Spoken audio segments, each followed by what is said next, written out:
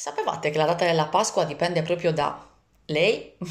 Ciao a tutti, io sono Barbara, sono un'astrofisica e una divulgatrice scientifica.